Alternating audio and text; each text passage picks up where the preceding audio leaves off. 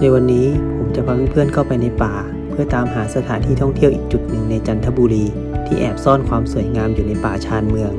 เป็นจุดที่น้อยคนจะมาถึงที่นี่ เพราะต่อให้เพื่อนๆพิมพ์หาเส้นทางใน Google Map เพื่อจะมาสถานที่แห่งนี้ ก็จะไม่เจอเส้นทางที่จะพาเพื่อนๆเข้ามา เพราะที่นี่คือ น้ำตกคลองลาง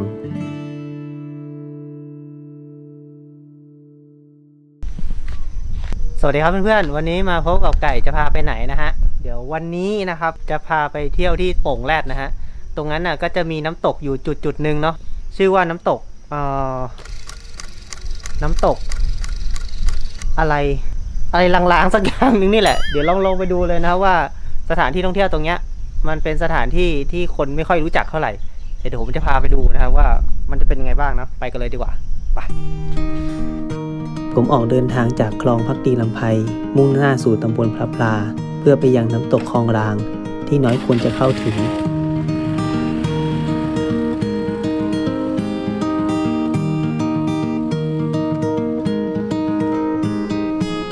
จากที่ผมหาข้อมูลใน Google ก็พบว่าเป็นสถานที่ท่องเที่ยวที่ข้อมูลน้อยมาก และคนทั่วไปยังไม่ค่อยรู้จักกันเท่าไหร่ เป็นสิ่งที่ทำให้ผมค่อนข้างประหลาดใจ เพราะน้ำตกคลองลาง หากมองจากแผนที่คร่าวๆ จะพบว่าเป็นน้ำตกที่อยู่ไม่ไกลจากตัวเมืองจันทบุรีเท่าไหร่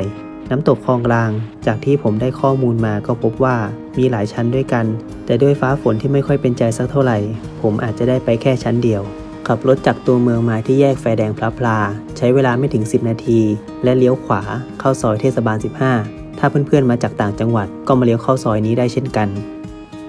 ภูเขาที่อยู่ตรงหน้า คือภูเขาสระบาบซึ่งเป็นที่ตั้งของน้ำตกคลองราง ตลอดสองข้างทางของที่นี่ เพื่อนๆจะเจอแต่สวนผลไม้ตลอดระยะทาง ก็เป็นวิวที่สวยดีเหมือนกัน แม้ว่าผมจะอยู่จันทบุรีมาสักระยะหนึ่ง แต่การเดินทางมาที่นี่ก็คือครั้งแรกของผม ไม่รู้ว่าน้ำตกไปที่ไหนต่อนะ เดี๋ยวถามร้านค้าแถวๆนี้ พี่ครับน้ำตกคลองรางไปทางไหนอะฮะข้างหลังใช่ไหมใช่ฮะ เอ่อน้องต้องขี่ตรงขึ้นไปเลยนะ แล้วเดี๋ยวมันจะมีป้ายซ้ายมืออะ มันจะเขียนว่าน้ำตกคลองลางอ่า ขึ้นเขาไป ไกลไหมครับจากตรงเนี้ยฮะไอ้ไกลก็เท่าไหร่จะทางเดินจะต่ำอ่าแล้วผู้ใหญ่บ้านที่ดูแลทางโป่งแรดนี่อยู่ตรงไหนบ้างอะพี่ บ้านใหญ่อยู่ไม่ไกลอะอยู่ตรงนี้เหรอฮะใกล้เส้นนี้เลยใช่ไหมฮะ บ้านใหญ่ก็จะแยกสมมติว่าเจอสามแยกบ้านใหญ่ก็จะอยู่แยกซ้ายเข้าไปแล้วจะมีป้ายอยู่บ้านก็อยู่ขวามือครับ ว่าบ้านใหญ่ใหญ่บ้านคนนึงผู้ใหญ่บ้านหมู่หนึ่งใช่อืมแต่ทีนี้ไม่รู้เขากลับมายังอ๋อเขาไปลงสมัครกำนันอะครับ ใช่ พอดีผมทำคลิปท่องเที่ยวอยู่เออนั่นแหละยังไม่เคยมา แต่เขาก็มีทางขึ้นไปอยู่ใช่ไหมทางขึ้นไปทางขึ้นไปอ๋อเพราะแถวนี้ไปกันตอนนี้ฝนตกกันนะอ่าๆน้ำน่าจะเยอะอยู่เนาะน้ำน่าจะเยอะใช่ใช่โอเคเดี๋ยวไปก่อนครับพี่ใช่ขอบคุณคสารับมแยกเนี่ยแล้วมันจะมีป้ายบอกน้ำตกน้ำตกคลองลางอะอ๋อมีสามแยกบอกด้วย เออเขาจะมีป้ายบอกเป็นครัน้ำบตกคลองลางแล้วก็เลี้ยวขึ้นไปตรงไปเรื่อยๆเลยครับขอบคุณมากครับอะได้เรื่องแล้ว เดี๋ยวเราไปต่อ การเดินทางท่องเที่ยวในประเทศไทย สิ่งที่ทำให้อุ่นใจทุกครั้ง ก็คือเรื่องของการสื่อสาร ต่อให้เราหลงทางแค่ไหน คนพื้นที่ก็จะช่วยนำทางให้เรา ขี่เลยขี่เลย น้ำตกเนี่ยทางเข้าน้ำตกอยู่ตรงนี้ เราถามหาผู้ใหญ่บ้านก่อนนะเดียบ้านผู้ใหญ่อยู่ตรงไหนนะฮะอ้าวเหรอ การตามหาผู้ใหญ่บ้านจากคนที่ไม่ใช่คนพื้นที่ มันก็จะงงๆด้วยกันทั้งสองฝ่าย โอเคครับ ตอนนี้ก็มาอยู่ที่บ้านผู้ใหญ่หมู่หนึ่งแล้วก็ขออนุญาตเรียบร้อยแล้ว แล้วก็ทางผู้ใหญ่ก็โทรติดต่อเจ้าของสวนเนาะที่อยู่บริเวณใกล้ๆกับน้ำตกคลองลางนี่แหละ เรียบร้อยแล้ว เดี๋ยวเราก็ไปกันโอเคไปต่อ หลังจากที่ขออนุญาตขึ้นบินโดรนสำเร็จ ผมก็ออกเดินทางสู่น้ำตกคลองลางทันที บางครั้งการออกเดินทางคนเดียว เราก็ยังคงเจอเพื่อนๆร่วมทางที่ทักทายเราแบบไม่ทันได้สังเกตแบบนี้ก็มี จากการสอบถามเส้นทางจากผู้ใหญ่บ้าน เมื่อผมเลี้ยวเข้ามาตามป้าย ผมต้องขี่มอเตอร์ไซค์เข้าไปอีกกิโลกว่า ก็จะเจอกับน้ำตกคลองลาง ซึ่งผู้ใหญ่บ้านบอกกับผมว่า เส้นทางค่อนข้างจะลำบากเพราะช่วงนี้เป็นช่วงหน้าฝน เส้นทางก็จะเป็นถนนลูกรังตลอดสาย เมื่อขี่มอเตอร์ไซค์เข้ามาสักพัก เราก็จะเจอกับแยกนี้ ซึ่งผมก็เลือกที่จะเลี้ยวขวา เพราะเห็นว่ามีการสร้างฝายอยู่ข้างหน้า ซึ่งก็น่าจะเดาๆได้ว่าน้ำตกก็น่าจะอยู่โซนนี้ไม่ไกลกันเท่าไหร่ ใช่ไหมเนี่ย เดี๋ยวเดี๋ยว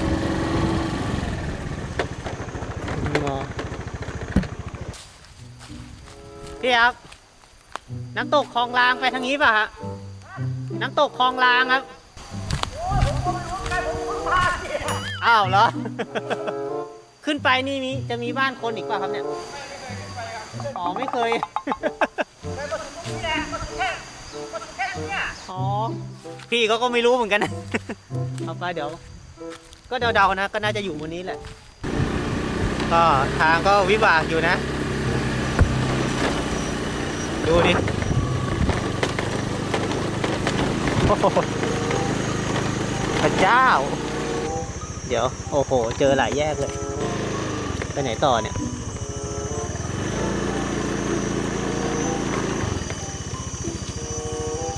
เออลอง ลองไปดู ทางเป็นแบบเนี้ยแล้วขี่รถมือเดียวด้วยนะ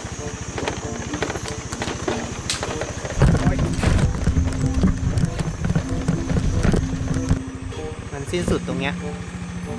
สงสัยเราต้องออกจากตรงนี้แล้วแหละ เพราะว่าน้ำตกอยู่ไหนไม่รู้เนี่ย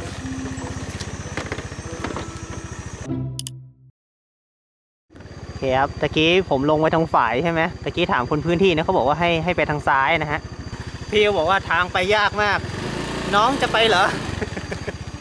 เอลองดู โชคดีที่ผมยังเจอชาวบ้านในพื้นที่ที่คอยบอกเส้นทางอยู่เรื่อยๆทำให้ผมได้ไปต่อ เส้นทางแบบนี้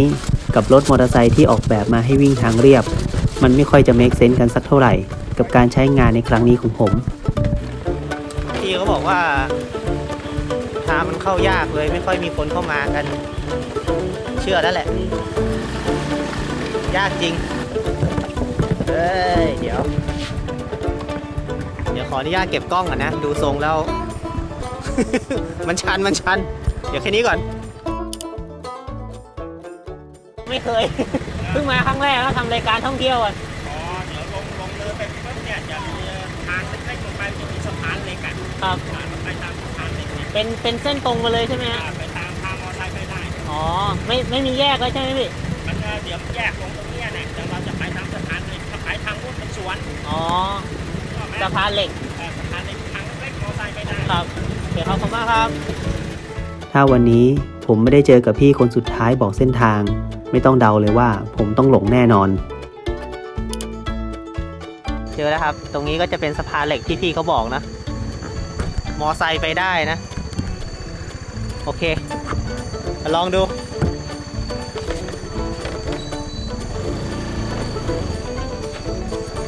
มอไซค์ไปได้ แต่ตอนขึ้นนะดิขึ้นได้ไหมเนี่ย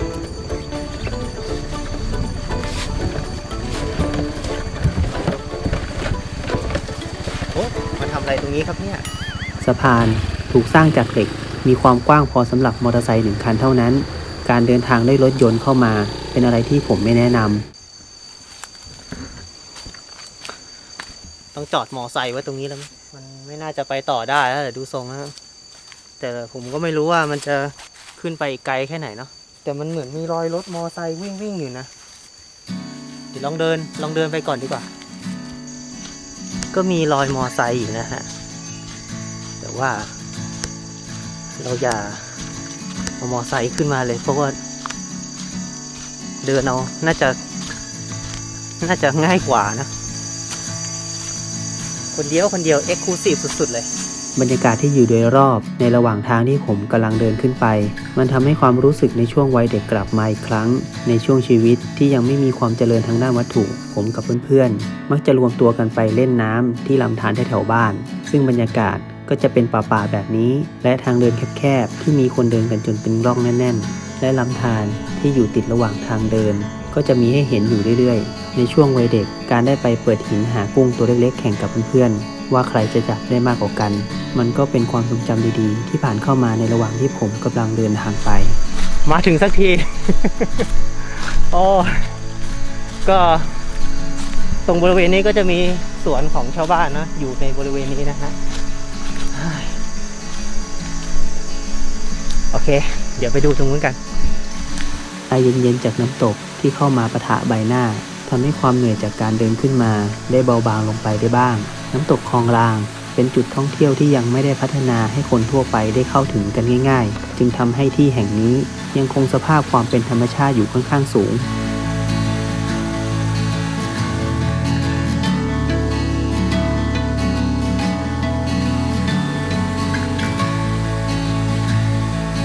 การได้มาที่นี่เพียงลำพัง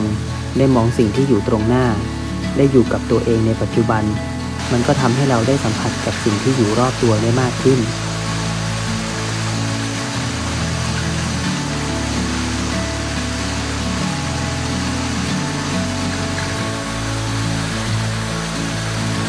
ในช่วงเวลาที่โลกกำลังหมุนไปตามการเวลากับการตามหาความพอดีที่ไม่เคยมีอยู่จริงในชีวิต ทุกอย่างล้วนต้องพึ่งพิงซึ่งกันและกัน ไม่มีอะไรอยู่อย่างโดดเดี่ยวเดียวดายได้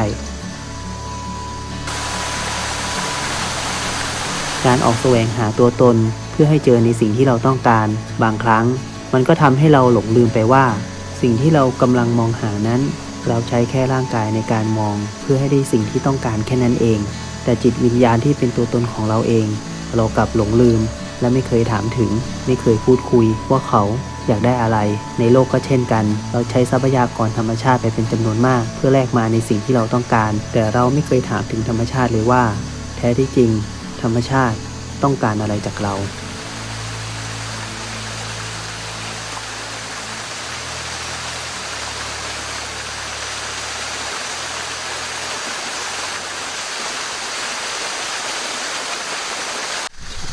อะ เดี๋ยวลอง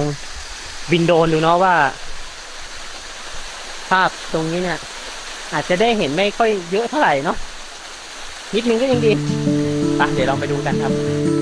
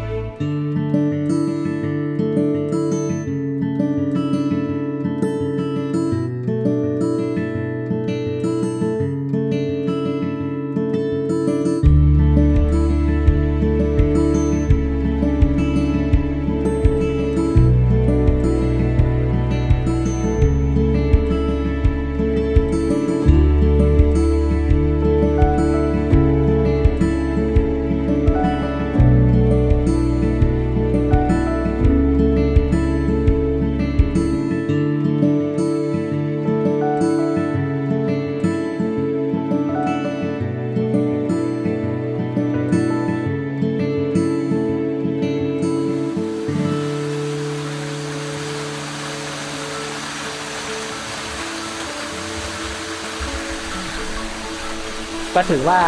ที่นี่ก็เป็น unseen ของโป่งแรดเลยนะครับ ถ้าเกิดใครผ่านไปผ่านมานะฮะ เข้ามาในเขตจังหวัดจันทบุรีครับ ก็ลองมาเที่ยวที่นี่ดูนะครับ ก็เส้นทางก็จะ adventure หน่อยนะสำหรับสายที่แบบว่าชอบขี่มอเตอร์ไซค์ enduro นะ หรือว่าเดิน trail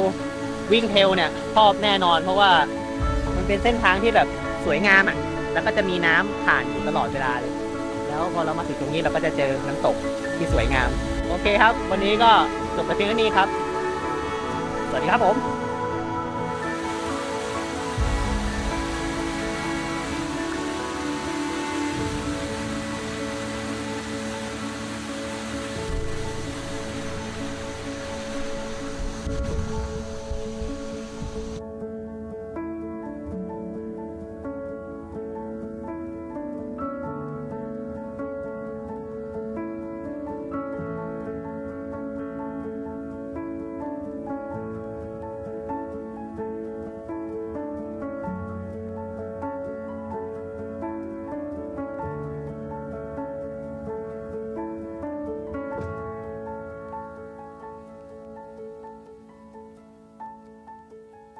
ทางเป็นร่องเลย